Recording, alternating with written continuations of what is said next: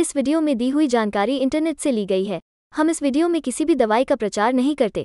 किसी भी दवाई को इस्तेमाल करने से पहले एक बार डॉक्टर से ज़रूर सलाह लें। अगर आप इस वीडियो को देखकर किसी दवा का उपयोग करते हैं और आपको कोई साइड इफ़ेक्ट होता है तो उसमें हमारी कोई ज़िम्मेदारी नहीं होगी। Glycertin CL tablet contains two medicines, both of which help to control high blood pressure. यह रक्त वाहिकाओं को रिलैक्स करके ब्लड प्रेशर कम करता है जिससे हृदय के लिए पूरे शरीर में रक्त पंप करना आसान हो जाता है। इससे आप में हार्ट अटैक या स्ट्रोक होने का जोखिम कम हो जाएगा।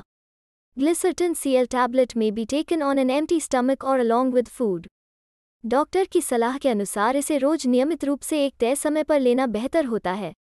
डोज आपकी कंडीशन और दवा के प्रति आपके रिस्पॉन्स पर निर्भर करेगी।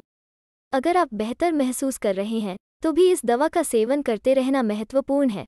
आपके ब्लड प्रेशर को कम करके, यह आपके हार्ट अटैक या स्ट्रोक के जोखिम को कम करती है। इसलिए, इसे लेना तब तक बंद न करें जब तक कि आपका डॉक्टर ऐसा करने के लिए आपको नहीं कहता। आप एक्टिव रहकर धूमपान बंद कर और कम नमक व कम वसा वाला भोजन लेकर अपनी जीवन शैली में कुछ बदलाव करें। इससे दवा को बेहतर तरीके से काम करने में मदद मिलती है। इस दवा के सबसे सामान्य साइड इफ़ेक्ट में आपके टखनों या पैरों, यानी कि इडिमा में सूजन, सिर दर्द, नींद आना, चक्कर आना, थकान, स्वाद में बदलाव और पेट खराब होना शामिल हैं। चूँकि इससे नींद आना और चक्कर आना हो सकता है, इसलिए जब तक यह पता नहीं चल जाए कि यह दवा आपको किस प्रकार प्रभावित करती है, तब तक गाड़ी न चलाएँ या मानसिक एकाग्रता की आवश्यकता वाला कोई काम न करें। अगर आप साइड इफ़ेक्ट से परेशान हैं या इनमें कोई सुधार होता दिखाई नहीं देता है तो अपने डॉक्टर से बात करें। इस दवा को लेने से पहले, अगर आपको किडनी या लिवर से संबंधित कोई समस्या या बहुत अधिक डिहाइड्रेशन है तो अपने डॉक्टर को इसके बारे में बताएँ। गर्भवती या स्तनपान कराने वाली महिलाओं को इसे लेने से पहले डॉक्टर से भी परामर्श करना चाहिए।